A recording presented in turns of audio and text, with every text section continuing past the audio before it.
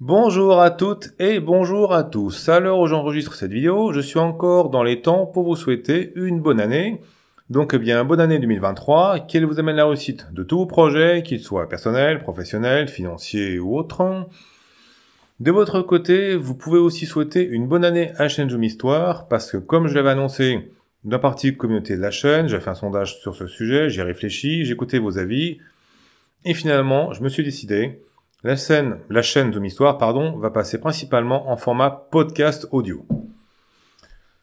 Ne soyez pas étonnés au fait dans cette vidéo si parfois je vais chercher mes mots et bafouiller un peu, parce que là, j'ai pas le script. Enfin, j'ai un scripty, c'est à côté de moi. J'ai écrit les grandes lignes de mon texte, mais je vais improviser. Donc euh, voilà, ça sera, je pense, un peu plus naturel.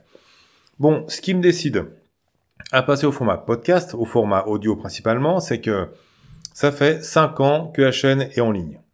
5 ans que je fais des vidéos, et au bout de ces 5 ans, à peine 1600 abonnés, ce qui est pas énorme.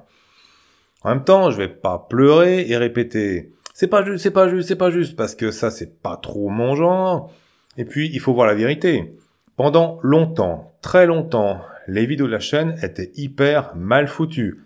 Mal enregistrées, mal montées, le son était dégueulasse. J'étais pas à l'aise du tout face micro et face caméra c'est que récemment que j'ai vraiment commencé à m'améliorer, les miniatures étaient moches aussi, enfin bref, tout était fait pour ne pas attirer les vues et faire descendre la chaîne dans l'algorithme de YouTube.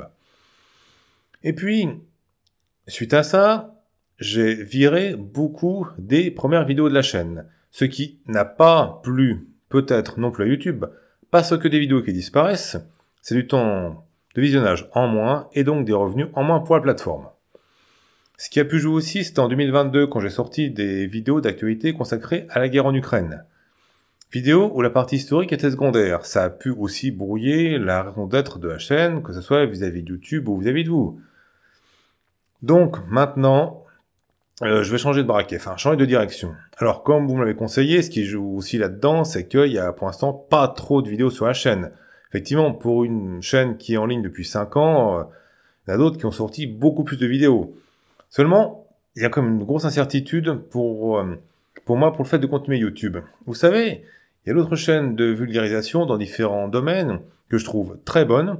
Il y a par exemple La Prof, une chaîne qui est en ligne depuis 6 ans, ou 7 ans, voire plus même, qui est gérée par une enseignante en histoire géo dans le nord de la France. Une chaîne d'histoire, très bien foutue, qui est à peine 60 euh, 000 abonnés, voire moins. Et aussi Nienko TV, une chaîne consacrée au cinéma, que je trouve très bien faite aussi, avec des bons, des reportages, quoi. Ça, ça accroche vraiment. Moins de 20 000 abonnés. En fait, le souci, c'est que, à mon avis, YouTube est peut-être une plateforme de moins en moins adaptée à la mise en avant de contenu qui se veut éducatif. Même si ce sont des vidéos très bien foutues, très bien montées, très bien enregistrées. Récemment, il y avait la chaîne e-pensée 2.0. Je sais pas si vous connaissez, mais e-pensée, c'est un vidéaste YouTube de vulgarisation scientifique qui a fait une vidéo sur ce sujet en l'été 2022 en collaboration avec d'autres vidéastes. C'était Le Point Genius et 12 par sec. Et donc, ça s'appelait Question de perception. Il parlait de YouTube. Et en gros, ce que les mecs expliquaient, c'est que récemment, l'algorithme de YouTube a changé. Enfin, récemment, il y a ces cinq dernières années. Avant, pour YouTube, le critère principal pour décider de la valeur d'une vidéo, pour la mettre en avant, c'était la durée moyenne de visionnage. Plus une vidéo était vue longtemps, plus YouTube la met en avant, ce qui paraît assez logique. Le souci, c'est que cet algorithme favorisait les personnes qui étaient accros à tel type de contenu, à telle chaîne, et une fois que ces personnes avaient fini de regarder le contenu des chaînes qu'ils ou elles aimaient, ils quittaient YouTube, quitte à revenir après quand une notification avertissait de l'arrivée d'une nouvelle vidéo de leur vidéaste préféré. Et ça, ça plaisait pas trop YouTube, parce que YouTube veut vraiment que les gens restent accrochés face à leur écran sur YouTube. Et les formats shorts vont dans ce sens-là. Vous m'avez conseillé aussi, pour certains, de mettre en avant des shorts. Le souci, c'est que les shorts, qui sont, je rappelle, des vidéos de moins d'une minute, c'est pas vraiment adapté, je trouve, à de la vulga historique, parce que parler d'histoire du Japon, de la Corée, de l'Allemagne, de la Pologne, de l'Ukraine, d'histoire culturelle, sociétale, euh, de préhistoire sur des vidéos du moins d'une minute, euh, là c'est vraiment, vraiment, vraiment ultra synthétique. Et puis, même si mettre en avant des vidéos shorts peut augmenter le nombre de vues d'une chaîne, à mon avis c'est peut-être une illusion. Je sais pas si vous avez fait le test. Mais quand vous êtes sur une chaîne YouTube, cliquez sur l'onglet Shorts. Et là, vous quittez la chaîne. Je veux dire que vous voyez plus les playlists, vous voyez plus la partie communauté, vous voyez plus les chaînes recommandées, mais vous êtes sur tous les shows disponibles sur YouTube. Bien sûr, la plateforme va vous conseiller certains contenus. Et c'est ça qui fait qu'à force de temps scroller, scroller, scroller, scroller, YouTube vous proposera des shorts d'une certaine chaîne, peut-être la vôtre, mais après vous les zappez. Je veux dire que les shorts n'encouragent pas la fidélisation à une chaîne. Donc euh, les vues augmentées suite aux shorts mis en avant, ça reflète juste le fait, ça reflète peut-être, hein, c'est mon avis, hein, mais ça reflète peut-être juste le fait que les shorts deviennent plus fréquents, plus populaires sur YouTube. D'après certains de mes proches d'ailleurs, récemment YouTube n'enverrait plus les notifications des nouvelles vidéos auxquelles on est abonné, même si on activait les notifications. Ça paraît logique, parce que c'est toujours dans cette logique de non-fidélisation. Et quand je vois les statistiques de mes, vidéos, je remarque que ce ne sont pas les vidéos qui sont gardées le plus longtemps, que ce soit en valeur absolue ou en pourcentage de visionnage, ce ne sont pas ces vidéos-là qui ont plus de vues, ce ne sont pas celles que YouTube met en avant. Donc, à mon avis, YouTube n'est plus une plateforme qui est vraiment adaptée au contenu à caractère éducatif, à la vulgarisation en matière d'histoire, comme dans d'autres domaines. C'est pas un hasard d'ailleurs, comme l'a fait marquer Pascal 003, c'est ça, ouais? Bah bref, tu te reconnaîtras, c'est pas, c'est pas par hasard si on va faire remarquer que beaucoup de chaînes galèrent, parce que c'est YouTube qui est peut-être en train de changer de nature. Alors bien sûr, je pourrais persévérer. Mais bon, il faut savoir quand même quand la persévérance devient de l'obsession acharnée qui mène à rien. Ça m'est déjà arrivé dans le passé dans différents domaines, que ce soit perso, professionnel, de penser que je persévérais, alors qu'en fait j'avançais pas d'un pouce, ça m'a amené qu'à perdre du temps et à finir, pas KO, mais vraiment, vraiment assez naze. Donc pour toutes, ces raisons maintenant, la chaîne passe au format podcast audio. Podcast audio principalement. Mais la chaîne continue, j'insiste bien là-dessus. En fait, déjà, les podcasts comme c'est du format audio, ça me permettra, quand je prépare mes contenus, d'éviter la partie montage vidéo et enregistrement vidéo. Parce que la partie montage vidéo, c'était vraiment la partie la plus bouffeuse de temps. J'ai passé des soirées, j'ai passé ça mes week-ends. Euh, quand vous avez une activité extra-professionnelle qui, euh, qui empiète comme ça, ça devient malsain. Hmm. On vit pas pour ces activités extra-professionnelles. Ces activités extra-professionnelles doivent être un plus qui vous permettent de mieux vivre. C'est mon avis en tout cas. Et puis les podcasts, c'est aussi un format d'avenir parce que c'est un format qui est en train de développer depuis déjà un moment. En fait, ça fait longtemps que c'est populaire dans des pays comme le Japon, comme les États-Unis, et ça devient populaire en France. C'est peut-être la France qui rattrape son retard. Mais les podcasts existaient avant les réseaux sociaux. Ça existe depuis le début d'Internet, les podcasts. Et puis, bah, ça commence à développer parce qu'il y a une tendance de fond. Au débit, fibre optique, enceinte connectée, et les smartphones favorisent l'usage du podcast.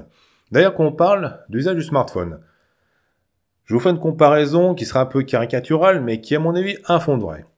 Consommez des réseaux sociaux sur votre smartphone. Installez les applications de Facebook, Twitter, TikTok, Instagram et autres, autres réseaux sociaux. Ça va vous encourager à être le nez scotché à votre écran, à tout le temps scroller, scroller, scroller, scroller, scroller. Quand vous serez dans un repas, en famille avec des amis, vous serez le nez scotché à votre écran. Et chez vous, ça peut vous amener à passer la soirée à scroller jusqu'à vous rendre compte qu'il est dehors du mat et que vous avez les yeux explosés et que vous n'avez rien fait de votre soirée. Alors que les podcasts sur smartphone, comme c'est des formats audio, ça n'encourage pas à avoir un écolé à l'écran. Ça vous encourage à faire autre chose. On peut faire la cuisine en écoutant des podcasts, faire du bricolage en écoutant des podcasts, manger en écoutant des podcasts. C'est toujours plus sympa qu'avoir la télé allumée sur BFM TV, CNews ou TPMP, hein, bon c'est que mon avis. Euh, on peut écouter les podcasts chez, chez soi, mais aussi de transport en commun, dans le train, en avion, enfin, etc. Les podcasts permettent, à mon avis, un usage très sain d'Internet. Les podcasts encouragent les formats longs et sont bien et sont bien comment dire comment dire attendez, je cherche mes mots. Les podcasts sont bien adaptés à la vulgarisation, que ce soit en histoire ou dans tout autre domaine. D'ailleurs, il y a certaines chaînes YouTube qui ont créé leur format podcast. C'est Estonie, par exemple. Il y a aussi Nota Bene. Vous avez le vidéaste québécois L'Histoire nous le dira. L'Histoire nous le dira, pardon. Il y a aussi le vidéaste d'astronomie Hugo L'Histoire. Euh, s'ils ont créé une version podcast de leur chaîne avec parfois des contenus originaux, c'est qu'une raison. C'est que c'est un format, je pense, qui aime à se développer et qui se développe déjà maintenant. Quand on est podcasteur, on dépend pas d'une plateforme. Autant quand on est vidéaste sur YouTube, on dépend de YouTube à 100%. YouTube a des critères maintenant tellement bizarres qu'il peut vous démonétiser du jour au lendemain. Il peut même supprimer votre chaîne sur simple réclamation. Alors que quand on a un podcast, on est hébergé par un hébergeur, comme un hébergeur de tout site web, à partir duquel on sera référencé sur des plateformes comme Deezer, euh, il y a quoi Il y a Deezer, il y a hum, Apple Podcast, il y a aussi Google Podcast, Spotify, etc. Et justement, l'hébergeur que j'ai choisi pour mon podcast permet le référencement automatique, donc sur ces plateformes dont je viens de parler, euh, Spotify, Deezer, Apple Podcast, Google Podcast, mais aussi l'export sur SoundCloud et l'export sur YouTube. C'est pour ça que la chaîne va continuer. Mais ça sera des vidéos, bien sûr, qui seront en format podcast. Ça veut dire que l'essentiel du contenu, ça sera ben, ma voix. Vous m'entendrez, moi en, train de parler. Pardon, vous m'entendrez moi en train de parler, je vais y arriver. Euh, vous me verrez quasiment plus.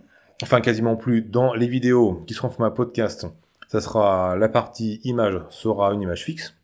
Par contre, les vidéos vont continuer. Parce que le podcast, techniquement, peut être du podcast audio comme vidéo. Et je pense quand même continuer la vidéo, même si ce ne sera pas le contenu principal. Pour quel type de contenu? Ben, je sais pas. Peut-être un vlog comme aujourd'hui. Je me rends compte que je suis relativement à l'aise face caméra maintenant. Euh, ça sera peut-être aussi des vidéos avec des cartes, où les cartes auront une grande importance. Ce sera peut-être aussi des vidéos hors les murs. Parce qu'avec un collègue, D'ailleurs, on est sur un projet de faire des vidéos hors les murs, des vidéos toujours à caractère historique, mais où la partie hmm, montage sera importante parce que ça serait l'immersion 3D en tracking 3D, mais bon, je vous en dis pas plus parce que c'est en train de se faire. Je vous verrai quand ça se fera, si ça se fait. Et puis voilà donc ce que j'avais à vous dire. Donc euh, voilà, la décision que j'ai prise, voilà pourquoi et comment Zoom Histoire va passer principalement en format podcast audio, même si les vidéos continuent. Et vous êtes libre de me dire ce que vous en pensez dans la partie commentaire, hein. je vous encourage, mais en tout cas, bon, ben voilà, c'est ce que j'ai, décidé. Vous êtes libre de quitter la chaîne, de vous abonner si ça ne vous plaît pas. Je vais pas vous forcer à rester, ça serait dommage, mais bon, tant pis. Maintenant, restez quand même. Attendez de voir si les nouveaux formats podcast vont vous plaire, parce que l'avantage de faire maintenant que de l'audio, je gagnerai du temps. Ce qui fait que je pense que je pourrais sortir plus de ben, plus, plus de contenu, en mode aléatoire, tout simplement. C'est-à-dire que je pourrais parler une fois de la Première Guerre mondiale, ensuite de la Seconde Guerre mondiale, ensuite de la préhistoire, dont je vais reparler, ensuite l'histoire de France, ensuite l'histoire du Japon, etc. Vraiment en mode un peu aléatoire, comme ça me plaît, comme ça branche. Bon, ben voilà. Et eh ben, j'ai terminé, j'ai dit ce que j'avais à vous dire, non, ouais, j'ai fait le tour. Et eh ben, très bientôt, et encore bonne année. Ciao